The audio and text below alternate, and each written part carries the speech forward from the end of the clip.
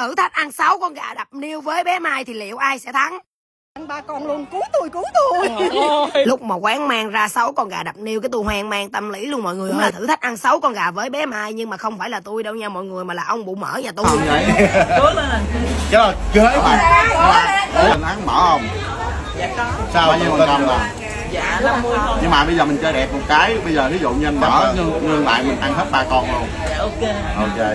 Đó. đó trong cái trận đấu là mọi người xung quanh nhìn vậy nè mọi người kiểu như là trời ơi rất là đông luôn. Bé mai là ăn rất từ tốn nha mọi người kiểu gì thì kiểu á là ừ bác ăn từ từ từ từ vậy nè mọi người. Ở ngoài không khí là người ta vừa tò mò nè vừa hò hét nè vừa nhìn nè nha nhưng mà không nha bà vẫn ngồi bà ăn rất là từ tốn. Bà có một sự thật mà tôi không thể tin được là ở ngoài bé mai rất là hiền mọi người. Kiểu ai nói gì bà cũng cười hết trơn á nhưng mà lên bàn ăn là bà chiến hết mình giống vậy nè. Ăn từ con gà đen sang con gà ta luôn nha rất là điềm tĩnh nha. Nhưng mà tới con thứ hai là bà kêu là bà còn ăn được nữa nữa. Trong đây sẽ là sáu con gà đập nhiêu thể lệ là mỗi người sẽ ăn ba con. Ông bụng mỡ ba con bé mai ba con ai ăn hết đó thì người đó sẽ thắng. Ăn được hơn một con gà là ông bụng mỡ đã thua rồi. Còn bé mai thì vẫn tiếp tục đam mê với lại con gà nha. Đố mọi người là bé mai có ăn được hết ba con gà còn lại không? Khúc này là ông bụng mỡ xin thua nữa mấy bà. Với cá nhân tôi thấy á, bé mai là một người có sức ăn rất là mạnh luôn nha mọi người. Và nể cái là bà ăn rất là từ từ nha. Vừa ăn vừa uống nước rồi vừa chấm với lại sốt chấm nữa. Rồi đố mọi người bây giờ bé mai có thể ăn được hết hết ba con gà này hay không thì mọi người xin trả lời giùm tôi nha.